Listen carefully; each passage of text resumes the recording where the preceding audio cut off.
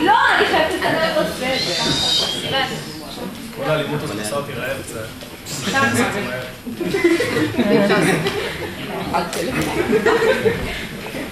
טוב, ככה. חצי ראשון, רגע, קראו לי בכלל?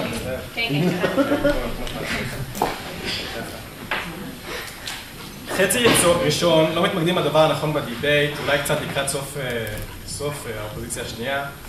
הבעיה ש... שאנחנו בתור חברה, מדינה צריכים להתמודד איתה, זאת נקודת המבט של האישה, של נקודת מבט שפויה.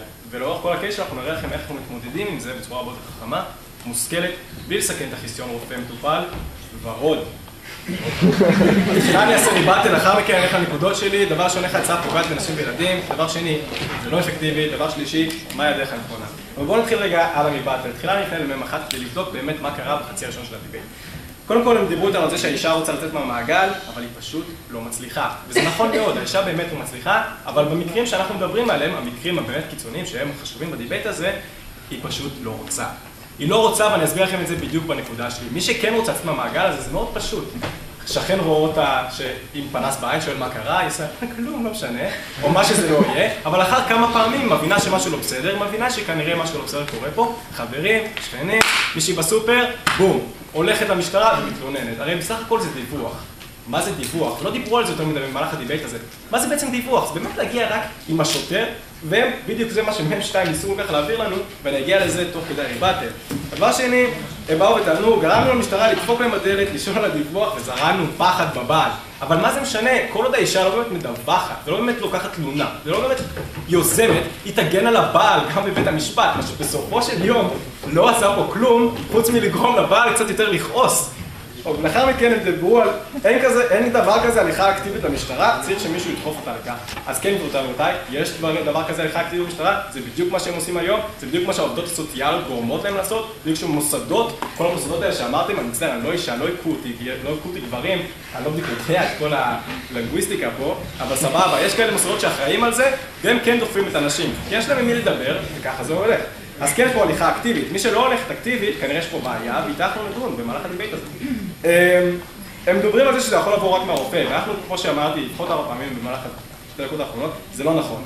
אבל מה שכן נכון, זה שאתם מסכנים את הרופא, אתם מסכנים את החיסיון רופא מטופל, אתם מסכנים את האמון הזה, כמו שדנו ושחקו פה במהלך החצי הראשון. בואו נדבר על מ"ם 2. מ"ם 2 עלו ושאלו אותו למה אתם לא עושים שום דבר, והתשובה היא מאוד קלה. כי אני חושב שעדיף לא לעשות שום דבר, מאשר אקסטרה לפגוע, ואקסטרה להרוס. וזה בדיוק מה שאנחנו הולכים להראות לכם עוד רגע. דבר שני, הם עכשיו הוסיפו שהשוטר יגיע עם עובדת סוציאלית. מצוין, כל הכבוד. למה שפשוט לא נחייב את הרופא לדווח לעובד סוציאלי? זה לא יסגור לנו מעגל הרבה יותר מהר? הרי בסופו של דבר זה מה שהם מנסים להקדים לנו פה. הנה, עכשיו היא באה עם עובדת סוציאלית שתשכנע אותה. סבבה, אוקיי? אבל זה בדיוק כל הקטע. אנחנו רוצים שהעובדת הסוציאלית תשכנע אותה, ולא שמישהו יכריח אותה לדווח למשטרה.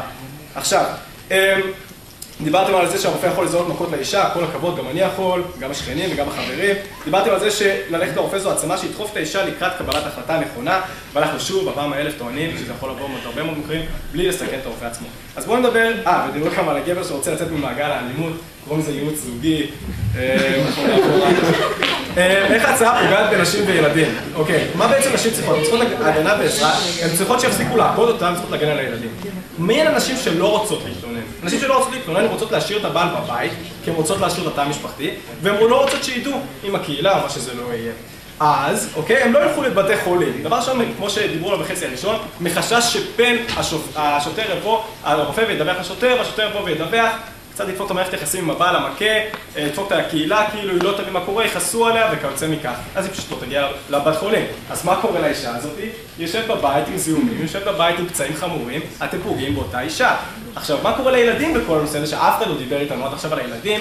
כן, האישה אמורה לדאוג לילדים שלה, למה שהיא תשלח את הילדים לרופא? בסופו של דבר היא צריכה להגיע יחד איתם. גם הילדים בסופו של דבר נפגעים מהדבר הזה. הבעל לא מכה רק את האישה, רוב הפעמים הוא גם מכה את הילדים. אוקיי? הרופא רואה שהילד עם פנסים זה לא מאיזה מכות בבית ספר, מבין שמשהו פה לא בסדר, גם סגרנו מעגל, גם דיווח. מסתכל על האישה, עושה אחד ועוד אחד, מגיע למסקנה. היא גם לא תשלח את הילדים, והילדים זה הכי חשוב, למה אנחנו צריכים להרוס לילדים? מה הם רוצים? צריך ללכת לרופא ולראות שהכל יהיה בסדר. אז, הבנו. אבל מצד שני, אולי יהיה לנו פה אפקטיביות שבה אנחנו נוכל לבוא ולהגיד שיהיה הרבה יותר דיווחים ונוכל למנוע אלימות במשפחה, אבל הפתעה הרבה אין לנו. כי אנשים לא רוצות לדווח. למה רוצות לדווח? כי מבחינתם, מנקודת המבט שלהם, הכל בסדר עכשיו. הן רוצות שהבעל יישאר בבית, הן רוצות שהכל יישאר בדיוק אותו דבר. אז, גם כשיש הרשעה וגם כשיש דיווח, זה לא אומר שיש תלונה במשטרה. וכשאין תלונה במשטרה, שלפני זה גם מגיע משפט, הם יחליטו בעד הבעל. תחשבו כמה אבסורד זה שהבעל מכה אותך, את הולכת לרופא, מדווח למשטרה, ובמשפט את מגנה על הבעל שלה. נגיד והחלטת תוך כדי כל המהומות האלה להשתכנע שכנראה הבעל עושה משהו לא בסדר, ובאמת לקחת את זה, אז כן, זה המקרה הספציפי הקטן הזה שנגרם פה, אבל תחשבו על הנזק שנגרם. גם אישה לא הולכת לבתי חולים יותר, וגם זה לא אפקטיבי בשורה התחתונה, אוקיי? כי דיברנו לכם לא דיווח, הרשעה, הרתעה, אין אפקטיביות. וכיוצא מזה. אז מה יקרה לדרך הנכונה? אה, אוקיי, בסדר. אישה שיש לה זיהום, יודעת שהיא עומדת למות, לכן היא תלך לרופא. אישה שמכים אותה פעם בשבוע, לא יודעת שהיא הולכת למות בסוף התהליך, ולכן היא לא תלך למשטרה. אוקיי. בסדר, צודק, אישה שיש לה זיהום, יודעת שהיא הולכת למות. אף אחד לא אמר שהיא לא תלך למשטרה, היא פשוט לא, לא תעשה הרשעה אחר כך לבעל, אז מה עשינו פה? לא עשינו פה שום דבר. בדיוק הנקודה שלי, תודה שהקשבת. אז מה כן הדרך הנכונה? אנחנו רוצים לה... יש הרבה דרכים נכונות שלא עושות את כל הבעיות שיש לנו עם הרופאים שיש לנו כיום בתוכנית הזאת. אז מהי כן הדרך הנכונה? להגדיל תמיכה למקלטי נשים, להגביר כמות עובדות סוציאליות, חינוך, איזה בערוץ 2, הוא מכה אותך, זה לא בסדר, תקשרי למוקד הזה, כמו שיש כיום. דרך שיח לגרום להם להבין שהיא והילדים שלה בסכנה. כי בשורה התחתונה, גבירותיי ורבותיי, בסוף היום, כל עוד לא נשנה את הנקודת מבט של האישה הזאת, שום דבר לא קרה. כן, כי גם נשים חולות, נשים מוכות, זאת בעיה וסוג של משהו שחוזר על עצמו. הרי זה לא בעיה רק של הגבר, מצטער אם אני פוגע במישהי פה, זה בעיה גם של האישה.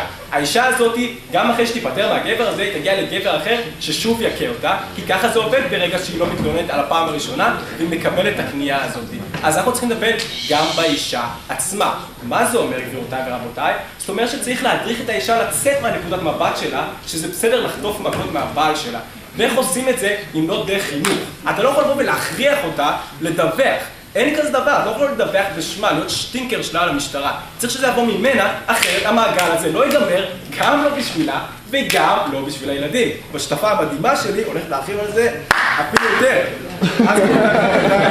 מה בעצם ראינו פה? ראינו פה איך החצי הראשון לא ביצע את תפקידו ולא גרם לו להבין בין כל המשקולות שאנחנו עושים, מה יותר חשוב פה. ואני כן גרם לכם לראות איך ההצעה פוגעת באנשים ילדים, איך היא לא אפקטיבית, ומה היא כן...